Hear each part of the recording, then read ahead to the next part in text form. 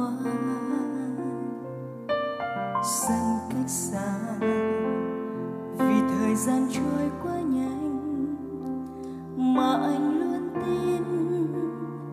Hiểu được cả tâm hồn em, thế nhưng lớn hơn những gì mà anh chưa lấp hết. Thăm sâu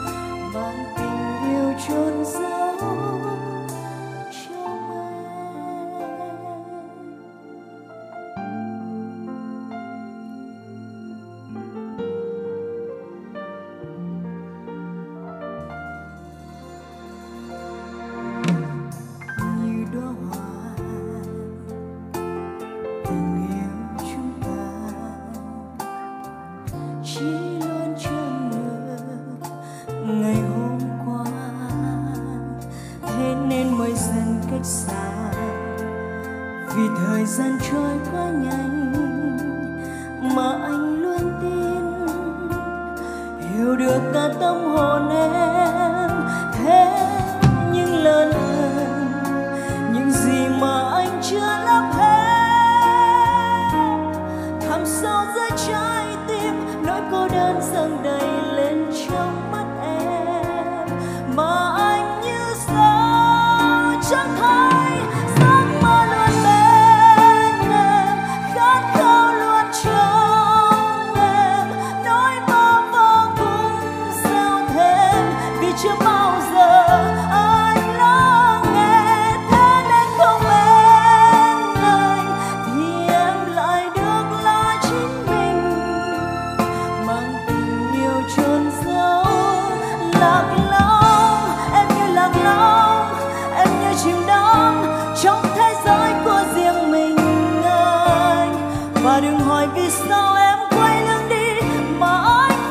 trách mình chưa giấc mơ luôn bên em khát khao luôn trong em.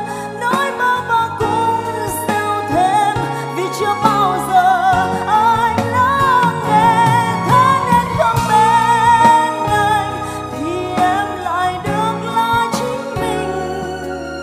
Mang tình yêu chôn sâu